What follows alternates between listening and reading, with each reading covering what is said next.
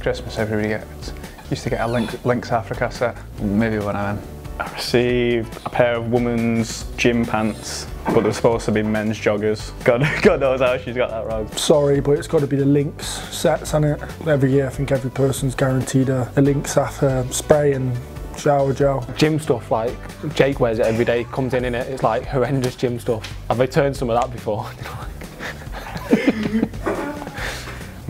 Probably a pair of socks, pretty standard. Or, or uh, no, to be fair, I got got racing grannies one year. That was pretty pretty stinking. Yeah, little like, Zimmer frame thing. I used to wind them up and race them. In fact, that was pretty cool. I'll, I'll, I'll stick with a pair of socks. Probably, don't know, that's a tough one as well. Probably the classic Lynx Africa box set you get every year, isn't it? Off the top of my head, it's probably a Lynx or something. That's the only thing I can think of. It probably has been worse than that, but that's the thing.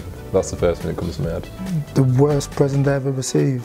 If it's the worst, I couldn't tell because I generally don't remember. I don't remember what would be, what I could put up there. I think, nah, I had good present all the time, so I, I couldn't pick one now.